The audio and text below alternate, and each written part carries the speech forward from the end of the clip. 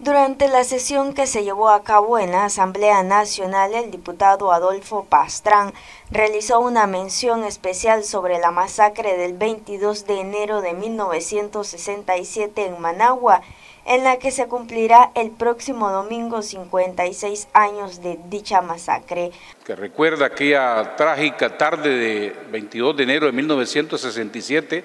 cuando cerca de este edificio parlamentario la llamada Avenida Roosevelt,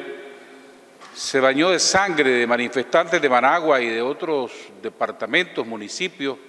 que participaban en una marcha contra la dictadura somocista, exigiendo en aquel momento elecciones libres, libertades, lucha contra la pobreza, porque Nicaragua estaba sumida en una enorme exclusión social. Eh, aquella tarde cuentan los historiadores, decenas de manifestantes caían bajo las balas de la ahora extinta Guardia Nacional. Entre los protestantes se encontraban revolucionarios sandristas como David Tejada, Julián Roque, quienes estaban al frente también protestando, exigiendo estas libertades ciudadanas y fueron